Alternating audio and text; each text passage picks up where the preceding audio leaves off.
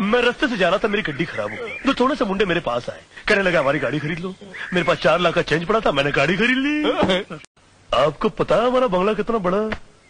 कितना बड़ा है साहब? ओ जी इतना बड़ा। है। हाँ कि हमको एक कमरे में से दूसरे कमरे में जाने के लिए मोटरसाइकिल यूज़ करना पड़ता। हाँ चिट्ठी! चिट्ठी चलिए मुगल आज़म से लेकर मैंने प्यार किया तक। और मैं चिट्ठी ही लिखूँगा और मैं चिट्ठी में ऋतु को लिखूँगा कि ऋतु मैं तुझसे प्यार करता हूँ। पुत्र चाचा जी! ओ पुत्र